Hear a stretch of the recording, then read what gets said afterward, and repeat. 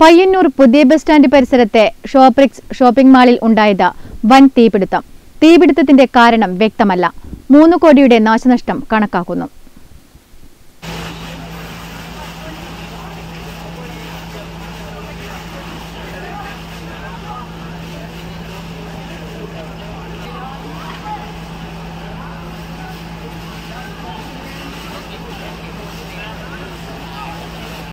പയ്യന്നൂർ പുതിയ bus stand പരിസരത്തെ Shoprix shopping മോൾ കെട്ടിടത്തിൽ വൻ തീപിടുത്തമുണ്ടായി. കഴിഞ്ഞ ദിവസം രാത്രി പതിനൊന്ന് മണിയോടെയായിരുന്നു മാളിലെ മൂന്നാം നിലയിൽ ഗൃഹോപകരണങ്ങളുടെ നില പൂർണമായും കത്തി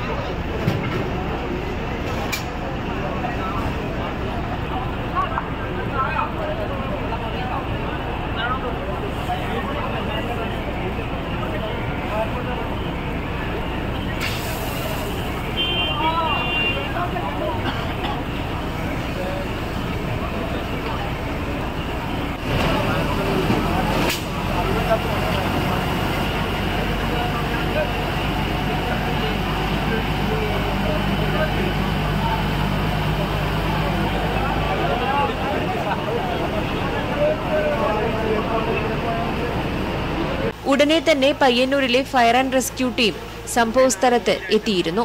തീ നിയന്ത്രണ വിധേയമല്ലാത്തതിനെ തുടർന്ന് കണ്ണൂർ തളിപ്പറമ്പ പെരിങ്ങോം തൃക്കരിപ്പൂർ കാഞ്ഞങ്ങാട് എന്നിവിടങ്ങളിൽ നിന്ന് കൂടുതൽ ഫയർഫോഴ്സ് യൂണിറ്റുകൾ എത്തുകയായിരുന്നു. മൂന്ന് മണിക്കൂറോളം നീണ്ട പ്രയത്നത്തിനൊടുവിലാണ് തീ അണച്ചത്. ഫയർഫോഴ്സിന്റെ കൃത്യമായ ഇടപെടൽ മറ്റു സ്ഥാപനങ്ങളിലേക്കും മറ്റും തീ പടരുന്ന ഭീകര സാഹചര്യം ഒഴിവാക്കുകയായിരുന്നു. തീപിടുത്തത്തിന്റെ കാരണം ഇനിയും വ്യക്തമായിട്ടില്ല.